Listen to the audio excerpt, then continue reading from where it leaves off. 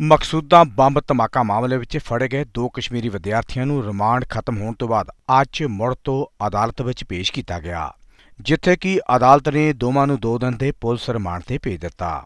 Police ਨੇ ਉਕਤ ਵਿਦਿਆਰਥੀਆਂ ਦਾ 3 ਦਿਨ ਦਾ ਰਿਮਾਂਡ ਮੰਗਿਆ ਸੀ। ਇਸ ਮੌਕੇ ਤੇ ਐਸਐਚਓ ਥਾਣਾ ਨੰਬਰ 1 ਦੇ ਕੁਲਵੰਤ ਸਿੰਘ ਨੇ ਕਿਹਾ। ਅੱਜ ਪੇਸ਼ ਕੀਤਾ ਗਿਆ ਸੀ ਅਦਾਲਤ ਵਿੱਚ। ਸਰ ਕਿਹਨੂੰ ਕਿਹਨੂੰ ਪੇਸ਼ ਕੀਤਾ ਸਰ ਸਾਇਦ ਕਿਊਬ ਤੇ ਫਾਜ਼ਲ ਨਸੀਰ।